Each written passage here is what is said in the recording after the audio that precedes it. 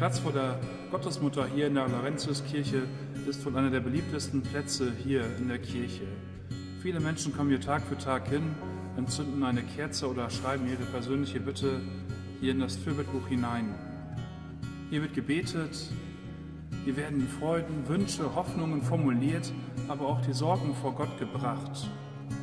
Das heißt, hier an diesem Ort haben Menschen einen Kontakt zu Gott.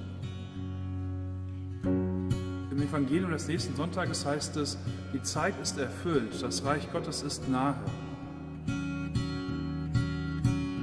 Das hört sich fast an wie eine Provokation.